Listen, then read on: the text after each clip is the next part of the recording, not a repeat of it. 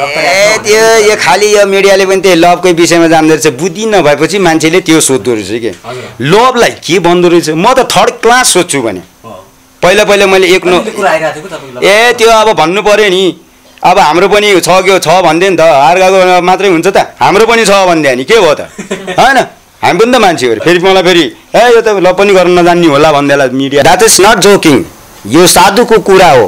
यो कुनै मिडिया कुनै मानव सर्वसाधारणको लागि। I am sadhu they is power I have they I am a powerful people you know मेरोमा छ नि। मैले जानेको ज्ञानमा चाहिँ म देखाइदिन्छु। वास्स मुख गनाएर स्वास्नीको अगाडि। के भन्ला राति छि सर्राम हुनुपर्छ के? जोगीले खान्छ सर्वाएर म एक्लै सुत्छु यो बेडमा। म यता फर्के पनि मेरो स्वानीले त सुन्दैन। हो बुद्धि नभएको मान्छेले रक्सी खान्छ। म जोगीले जोगीहरूले सर्वाएर गाँजा भाङ धतुरो बिस हामीले खान्छ।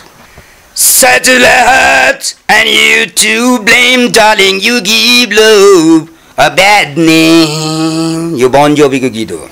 अहिले पनि मा कसम हो मैले हान्नु पर्यो भने सातवटा करङ चाहिँ भित्रै पठाइदिन्छु त्यसको लागि हात हेर्नु नि यहाँ कहाँ कस्तो खत छ ल यस्तो डेन्जरस छ मेरो हात।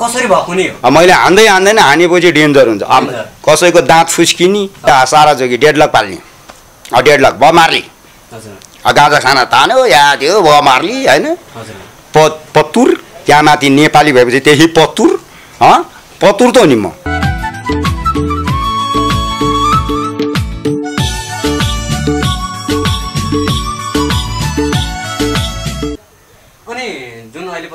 समयमा चाहिँ भूकम्पको कुरा पनि छ। धेरै मान्छेहरूले चाहिँ बाबाहरू आमाहरू माताहरू होइन धेरै उत्पन्न भएका छन् होइन? जुन तपाईँले पनि मिडियामा देख्नु भएको होला भूकम्प आउने कुराहरू पनि छ। र ने नेपालमा राजा आउने कुराहरू पनि त्यत्तिकै छन्। के लाग्छ तपाईँलाई? जिरो लाग्छ। सबै के सत्य हुन् या असत्य हुन्? यो सबै मलाई जिरो लाग्छ। जिरो लेभल हो यो। मानवले जे पनि बोल्छ। हाड नभएको जीव र जता लय पनि लर परिन्छ हेर अनि त्यसका लागि अब राजा आउँछ त। खोइ यो अब भएको राजा त गइसक्यो अर्को राजा को आउला? होइन सबैले अब मन पराउँछ भन्ने हुँदैन। अब अहिले जनतै अर्को भइसक्यो। पहिला राजा भएको जनता अर्कै थिए भने अब अहिलेको जनता अब मुखले भन्छ कसैलाई कमजोरी छ अब मलाई नै राजा चाहिरहेछ अहिले। किन चाहिरहेछ? अब देशमा राजा नभएको जनता तितर बितर भइरहेछ। कानुन छैन केही छैन।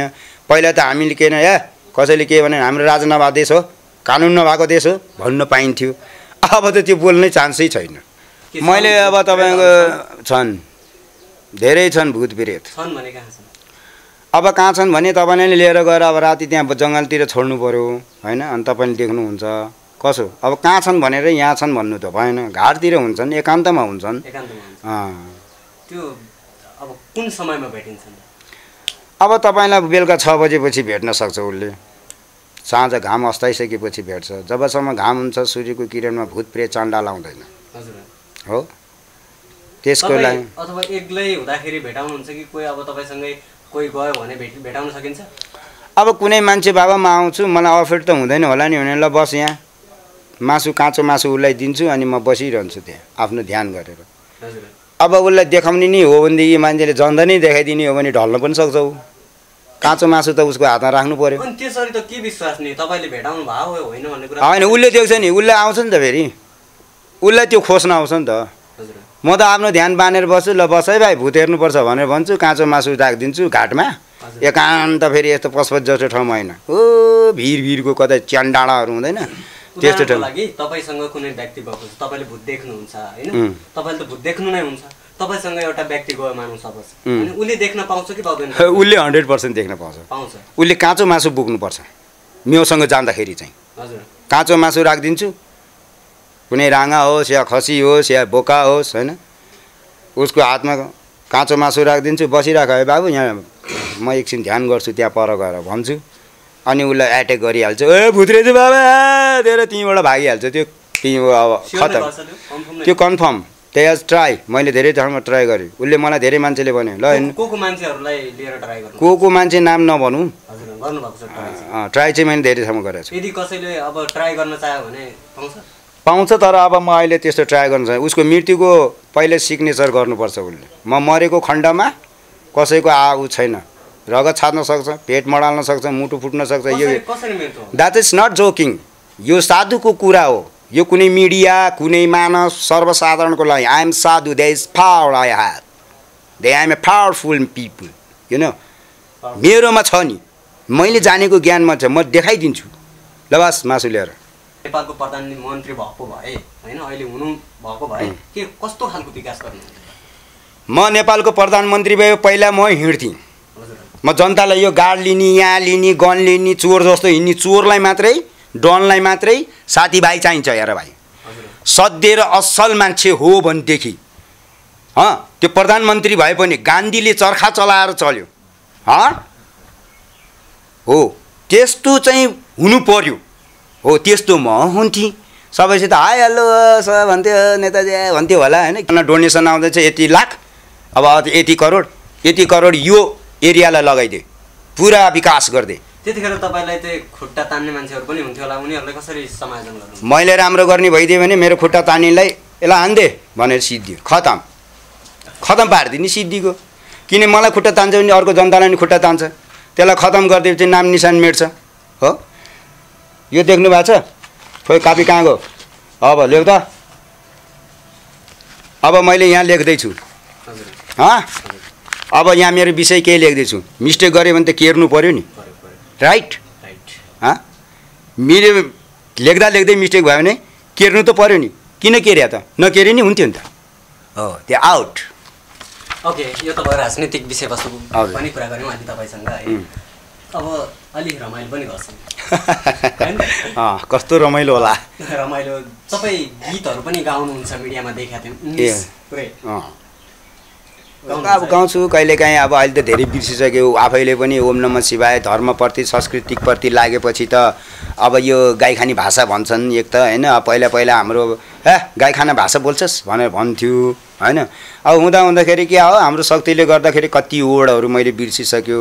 कति अब भनौँ न अब हरेक कुराहरू चाहिँ मैले बिर्सिसकेँ इङ्ग्लिसको होइन? अब गीत केही याद छ भने है। कस्तो खालको गीत गाउने हो के हो भन्नुहोस्। इङ्ग्लिस गीत गाउने कि? इङ्ग्लिस? तपाईँलाई मन पर्ने त अरू नेपाली सबैलाई त मन पर्दैन भन्नुहुन्छ. होइन अनि इङ्ग्लिस नै गाइदिनुहोस् न Settle hearts and you to blame, darling. You give love a bad name. यो बन जोबीको गीत हो हजुर अब तपाईँलाई रोलिङ स्टोनतिर जान्छ के अरे तपाईँलाई म पक्नु है डाइरो स्ट्रिट जान्छु Take Danny walk it that's way it. Danny walk it that's the way you do it. And play the guitar on the MTV. Dang, that's the way you do it. You money for nothing and six for free. अँ यस्तो अब कुन चाहिँ गाउँ अरू अरू के गाउने यही त हो नि इङ्ग्लिस गीतहरू नेपाली के गाउने मलाई मनै नपर्ने त्यही भएर अँ नभन के अरे नभन मेरो अस्ति गीत सुनेको थियौँ हँ ए नभन मेरो माया लाग्छ भने नबोलौ भेट्न सुने साइनमा मायाको कुरा अनि भेटीघाट बेकार हो। मायाको कुरा अनि भेटघाट बेकार हो। अनि अब अलि मलाई यो मिठो लाग्छ।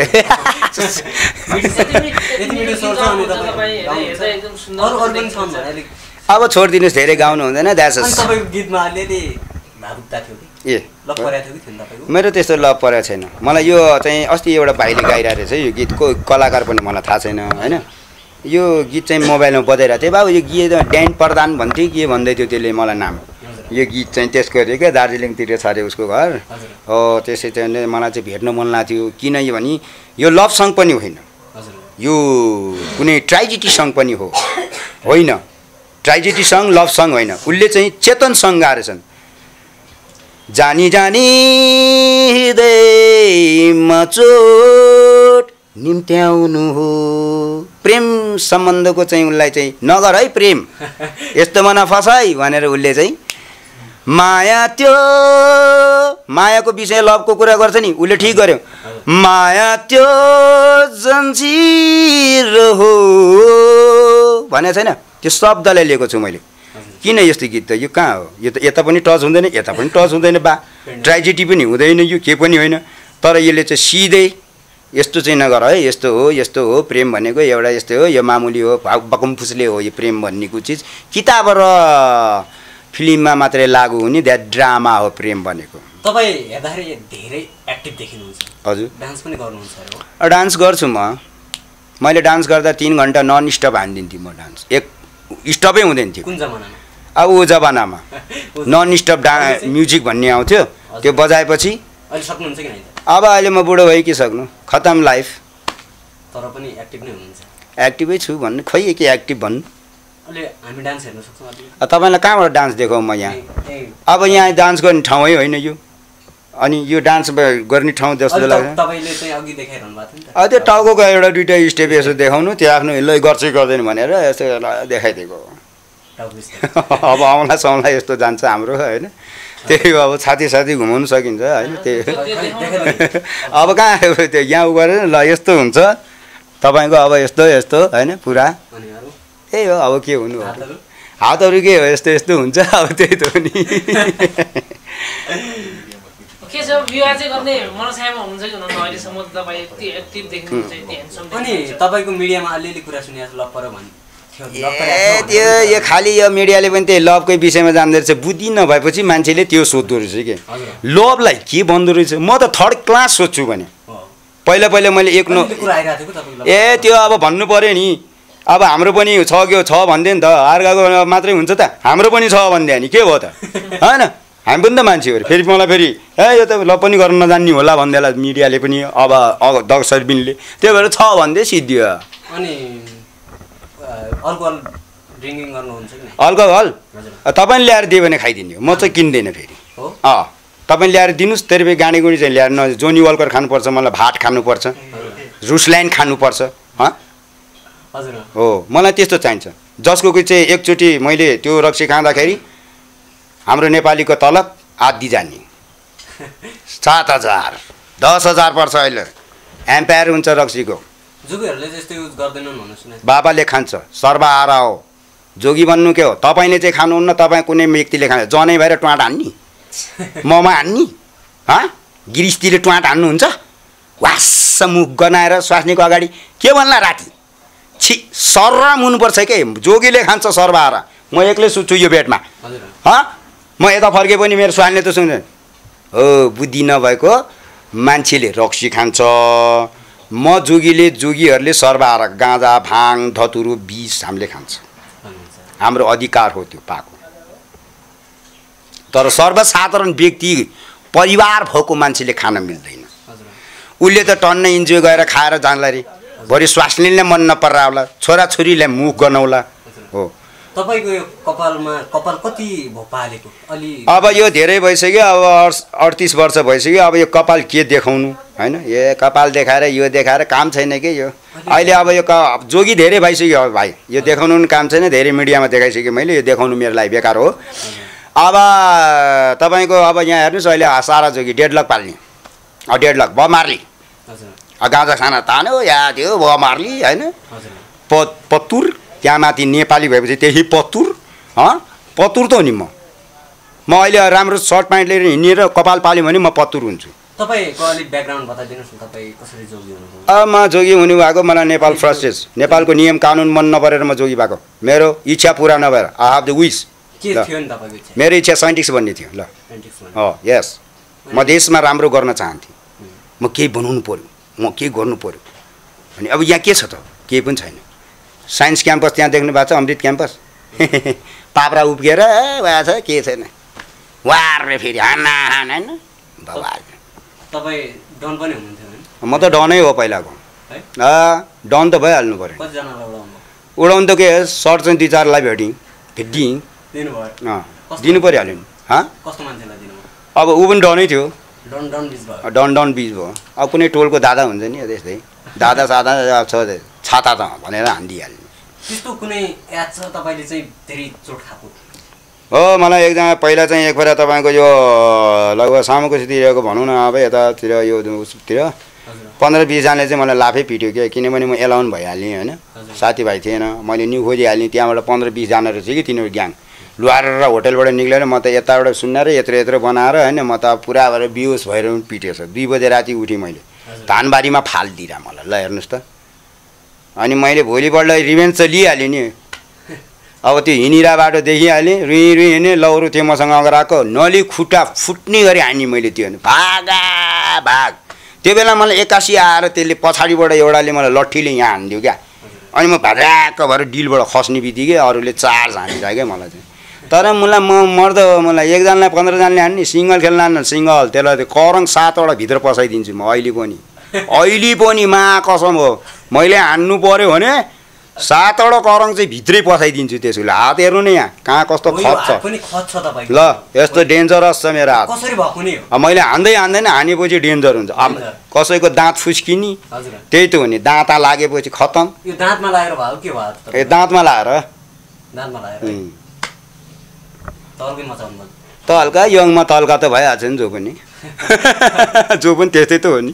पक्कै पनि अन्तिममा चाहिँ के भन्नुहुन्छ आम दर्शकहरू जुन तपाईँले देश तथा विदेशबाट हेरिरहनु भएको छ? अहिले एकदमै मन पराइरहनु भएको छ। के भन्नुहुन्छ? अब मेरा भनौँ न अब बाबालाई हेरिरहनु भएका साथीभाइ दिदीबहिनी देश विदेशमा जति पनि बसिरहनु भएको छ होइन?